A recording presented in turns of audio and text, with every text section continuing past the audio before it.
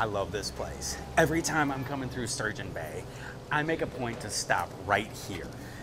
It's a Mobil gas station right downtown, but Kinara, the urban eatery, is one of those quick hit must have stops if you're ever going up into the Door. Could I please do a chicken and a lamb uh, kati roll? Thank you so much.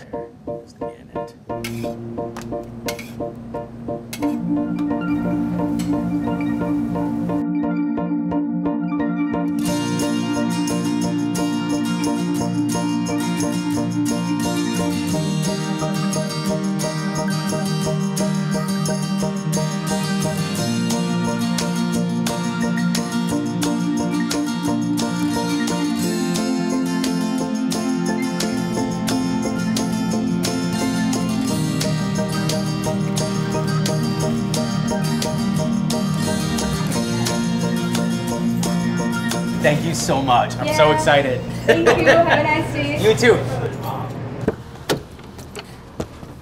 Oh man. All right. I am so excited for this. I'm so excited. The lamb kati. First thing I notice is the wax paper on the outside. Total classy move. I can tell when I'm at a sandwich shop that cares when they wrap just a little bit of wax paper on that outside to keep that roti nice and fresh, but also keep it from soaking through. So this lamb is a spicy lamb sausage. And uh, on their board, they said that it was very spicy. We're gonna give it a try and see. It's like eating a lamb meatball. Initially, you almost get sweetness and you get some coriander.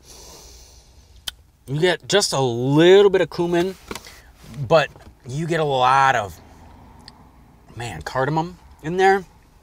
I get a little clove, maybe even a little cinnamon. Then it's accented by green chili and like bam, green chili.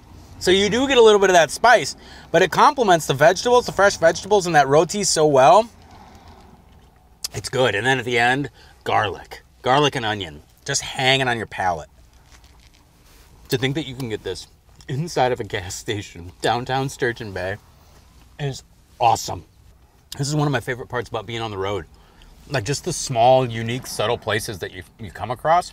I had probably driven by this Mobil station, I don't know, 30 times in my lifetime before knowing that I needed to stop there and check out the Kinara because this is the bomb.